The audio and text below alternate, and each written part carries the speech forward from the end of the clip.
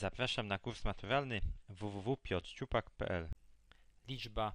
Logarytm podstawie 3 z 36 odjąć logarytm podstawie 3 z 4 jest równa. Przy logarytmach jest taka zasada, gdy podstawy są takie same, czyli tu i tu jest ta sama liczba, a jest, bo jest tutaj trójka, to my wtedy odejmowanie zamieniamy na dzielenie. O co chodzi? Przepiszę sobie tutaj logarytm o podstawie 3 z 36 odjąć logarytm o podstawie 3 z 4.